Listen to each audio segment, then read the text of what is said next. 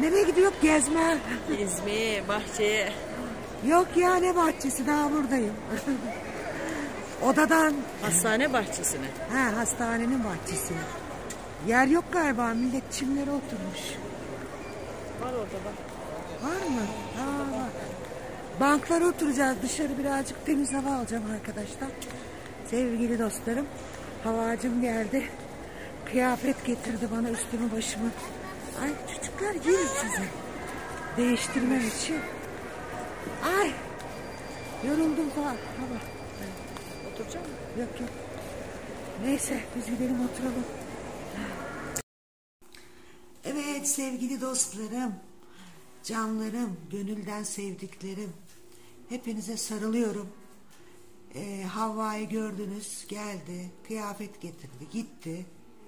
İşi vardı, Marmaris'e gitmesi gerekiyordu. Hemen buradan bindi, gitti sağ olsun kıyafetlerimi getirdi, bıraktı. Giydirdi, üstümü başımı pakladı. Ben de odama geldim. Şimdi odamdayım sevgili dostlarım. Oturuyorum.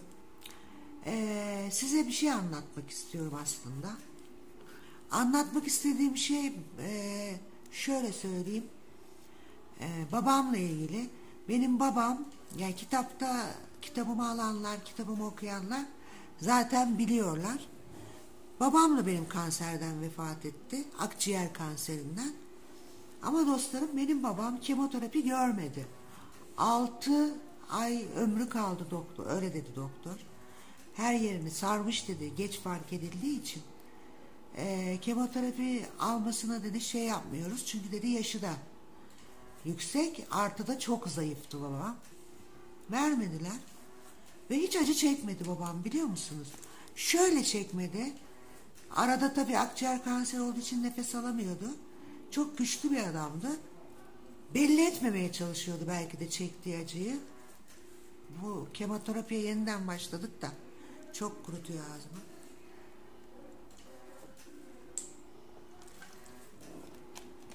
İlk başlarda böyle tutardı böyle burasını böyle falan yapardı. Nefes zor oluyordu hissediyorum ama hani öyle bir hani ne bileyim acısını belli etmezdi. Ah onu hiç duymadım babamın.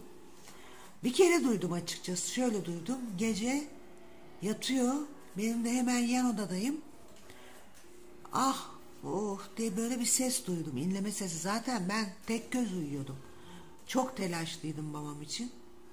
Çok benim için çok değerli çünkü babam çok yani herkesin annesi babası değerlidir. Böylece uyku uyumadım biliyorum yani o zamanlarda. Biraz çünkü aklı da gitmiş gelmişti ne yapacağını bilmiyordu. O sesi duyduktan sonra hemen kalktım. Oda kapısını şöyle yavaşça bir açayım dedim.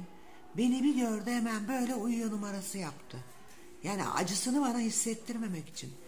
Ve şöyle bir şey söyleyeyim sevgili dostlarım. Tabi cahillik mi deseniz ya da benim e, babam hiç belli etmediği için mi deseniz ya da doktorlar bana bunu söylemediği için midir nedir? Mesela ben babama ağır kesici verdiğimi hiç hatırlamıyorum sevgili dostlarım. Benim babam akciğer kanseri olalı e, yani rahmetli olalı 2006-2007 şimdi biz 2017 18 19 20 20 15 sene önce bakın 15 sene önce olmuş. Ya 15 sene önce zaten doğru dürüst tıp ilerlememişti kanserle ilgili. Ee, bayağı zor günler geçiriyorduk. Böyle sistemde yoktu randevu sistemi telefonla o da yoktu hatta ilacı bile hastane eczanelerinden alıyordum upuzun kuyruklar bekliyordum öyle bir dönemdi babamı e, ben götürüp getirirken hastaneye ve babacığım hiç ağrı kesici verdiğimi hatırlamıyorum. Onun benden istediğini de hatırlamıyorum. Yani o ağrılara dayanıyor muydu? Gerçekten canı çok yanmıyor muydu? İnan hiçbir şey bilmiyorum. Çok güzel öldü babacığım. Uyu, uyudu. Uyuyordu zaten artık son zamanlarda oturarak uyuyordu. Ayakları davul gibi şişmişti. Ayaklarını uzatıyorduk biz. Önüne şey koyuyorduk koltuk gibi bir şey. Ayakları kan dolaşımı ayağını şey yapmasın diye uzatıyorduk. Böyle bir gece böyle uyurken sabaha karşı rahmetli oldu babacığım. Allah bin kere rahmet eylesin. Mekanı cennet olsun inşallah. Babamın çok böyle enteresan bir hikayesi vardır. Kitabımı alıp okumak isterseniz orada göreceksiniz. Hatta kitabın ismi böyle şeyler anlatılmaz. Babamın söylediği bir cümledir ve ben babamın söylediği o cümleyi kitabıma e, ismini koydum. E, alıp okuduğunuz zaman gerçekten ne demek istediğimi anlayacaksınız. Ben burada kısaca şöyle anlatabilirim, şöyle bir özet verebilirim.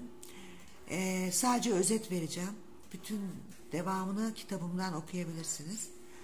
Benim babam sokaklarda yaşıyordu. E, asla eve gelmiyordu, gelmek istemiyordu. E, alkol kullanıyordu çok. Ama sadece Ramazan'da içmezdi bir ay boyunca. Orucunu tutardı bir ay boyunca. Allah kabul etsin. Ee, ama çok içmeyi severdi. Arkadaşlarıyla birlikte otururdu. içki içerdi. Eve gelmezdi. Sokaklarda kalırdı. Böyle Karacaahmet mezarlığı vardır İstanbul'da. O mezarlıkta bir çadır kurmuş arkadaşları vardı. Giderdi orada kalırdı. Ee, bir başına bir iş getirdiler orada. Babam ben hastanede buldum. Hastanede kimsesiz diye kaydetmişler babamı. Üstünden hiçbir şey çıkmamış. Emekliydi. Emekli parasını çektirip almışlar. Ee, üç aylık mı, beş aylık mı, altı aylık mı peşin çektirmişler. Bankadan almışlar. Babamı dövmüşler. Tabii içki ortamı. Ondan sonra e, babam hastanedeydi. Hastanede buldum gittim bayramdı.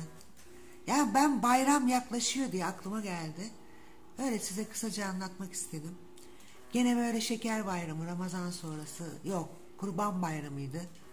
Ramazan Ramazan sonrası şeker mi oluyor Ramazan? Şeker. Şimdi şeker var. Ha kurban bayramıydı evet. Ben her bayram onu giderdim görmeye. Ona kıyafetler alırdım.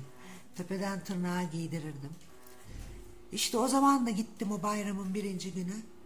Bana dediler ki babam burada değil. O çadırda kalan arkadaşları. Baban numune hastanesinde diye. Gittim orada yoğun bakımda yatıyordu. Gerisini kitaptan e, okumanızı tavsiye ediyorum sevgili dostlarım. Çünkü çok da konuşamıyorum. Kendimi de çok fazla böyle konuşarak yormak istemiyorum. Biliyorsunuz sesim kısık.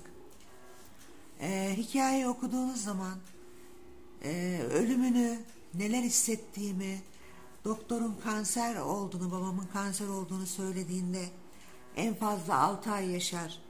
Ne istiyorsa yapın, onu mutlu etmeye çalışın dediğindeki hissettiklerim. Şu an ben bu kanseri yaşarken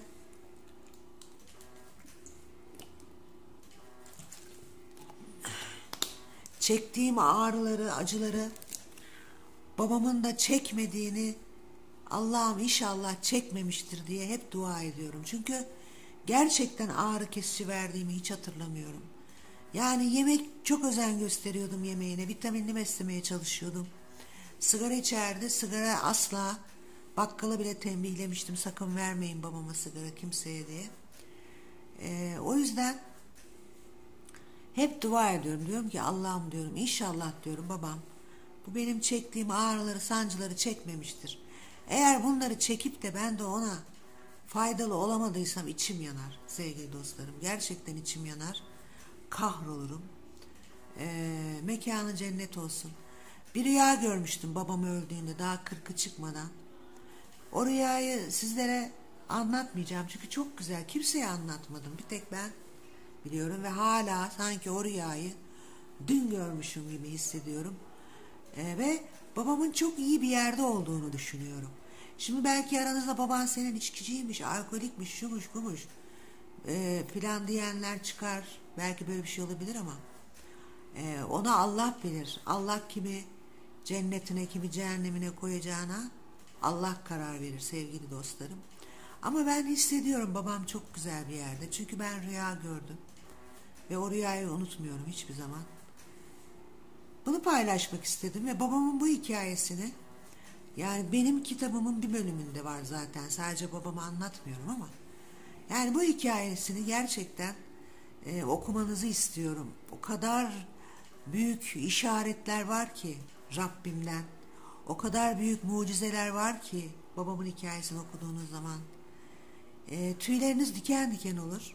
Hatta inanam inanamazsınız bu uyduruyor mu dersiniz. İnanın ki hiçbir şey uydurmuyorum. Her şeyi yaşadığım gibi. Sizlere tavsiye ediyorum. Okumanızı tavsiye ediyorum. Ee, sizleri çok seviyorum sevgili dostlarım. Kendinize çok dikkat edin. Sevgiyle, sağlıcakla, mutlulukla kalın.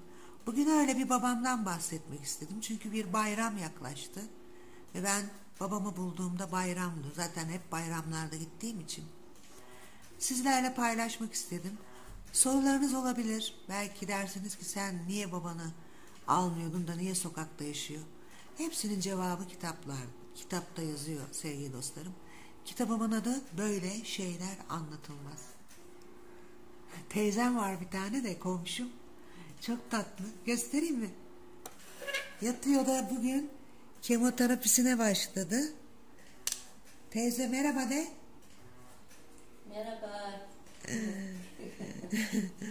Teyzem de bugün kemo ilk defa ilk kemoterapisine başladı. Allah onun için de yardımcı olsun. Onun için de dua edin. Benim komşum, yan yataktaki komşum için de dua edin. İnşallah şifa bulsun e, kemoterapi ilacından. Kendisi de pankreas e, teşhisi konulmuş. Umarım bir an önce iyileşir. Sizleri çok seviyorum. Kendinize çok dikkat edin sevgili dostlarım. Hoşçakalın.